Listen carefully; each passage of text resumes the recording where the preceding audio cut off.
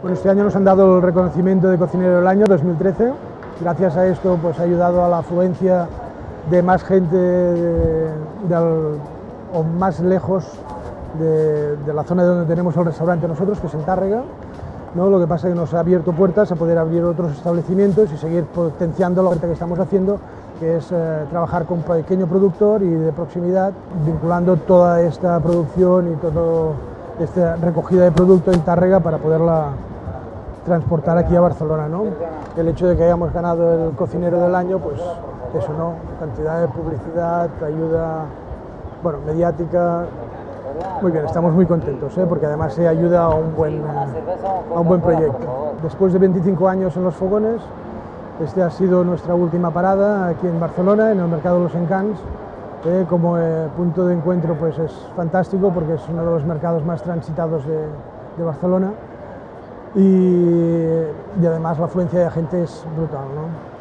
Ahora realmente 25 años después y con todo el bagaje que llevamos, yo y todos mis compañeros que están a, a, mi lado para llevar a cabo el proyecto, ¿no? pues gracias a ellos estamos vinculando diferentes restaurantes que están trabajando todos lo mismo y vamos todos por el mismo camino. ¿no? Nosotros ahora mismo uh, gestionamos, uh, yo me encargo particularmente de la, de la oferta gastronómica y gestionamos tres restaurantes actualmente, uno que está asociado con nosotros también, que está en Blancafort, el principal o la madre sería en Tárrega, que es donde centralizamos toda la compra del producto y la elaboración, para que todas las elaboraciones sean bastante iguales ¿no? y simplifiquemos y bajemos costes ¿no? para ofrecer al cliente las tapas más económicas posibles. Y bueno, ya estamos en estos tres sitios, Barcelona, Tárrega y, y Blancafort, ¿no? Eh, que gracias a un gran equipo de personas que, que, estamos llevando a cabo todo este, todo este proyecto. ¿no?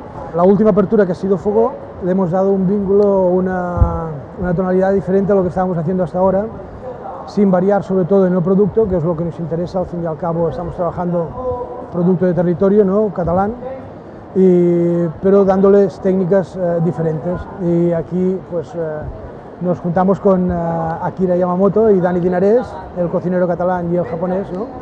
y entonces hacemos una fusión de técnica, pero no de producto. El producto sabemos que todo es producto de territorio, pero la técnica es diferente.